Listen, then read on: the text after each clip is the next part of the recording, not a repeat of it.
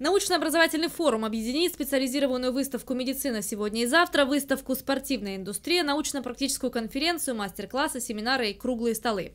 Свою продукцию на выставках представят более 70 компаний. Они привезут медицинское оборудование, физиотерапевтические аппараты, хирургические лазеры нового поколения, массажное оборудование, лекарственные препараты, широкий ассортимент медодежды, анатомическую обувь, средства первой помощи и расходные материалы для больниц.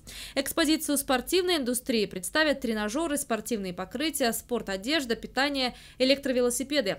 Ключевым мероприятием форума здоровья России станет научно-практическая конференция для врачей и пленарное заседание по совершенствованию медико-санитарной помощи населению Сочи. Конференция состоится 18 июня с 9 до 15 часов.